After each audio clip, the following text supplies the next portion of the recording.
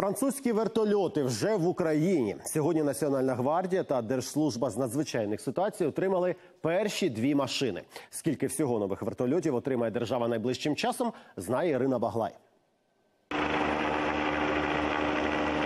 Тестування у дії. Французькі вертольоти H-225 подолали повітряний шлях у 2000 кілометрів успішно. Перші дві авіамашини отримали рятувальники і нацгвардійці. Ще влітку Київ та Париж уклали угоду щодо підтримки створення в Україні єдиної системи авіабезпеки та цивільного захисту. Тоді ж підписали контракт на купівлю за пільговим кредитом 55 гелікоптерів для всіх підрозділів МВС. Це є яскраве свідчення укріплення матеріальної бази для наших прикордонників, для наших рятівників, для Національної гвардії і символом нашої ефективної співпраці між Україною і Євросоюзом Всесвітньо відомі повітряні пташки Еербасу мають посилити і обороноздатність збройних сил, повідомив президент України. Я поставив чітке завдання, щоб до цих процесів обов'язково були залучені Збройні Сили України. І в рамках додатків до цього контракту ми повинні мати також і бойові вертольоти Airbus, які зміцнять бойову міць Збройних сил України 21 суперпума вертольоти, які були у використанні, але для українських силовиків французькі інженери кожен наново перебирали з нуля. Процес ще восени проінспектував міністр внутрішніх справ Арсен Аваков на заводі у Маріньяні. Як тільки авіапарк підрозділів МВС поповнять і решта нових гелікоптерів H-145 та H-125, в Україні запрацює єдина система авіаційної безпеки.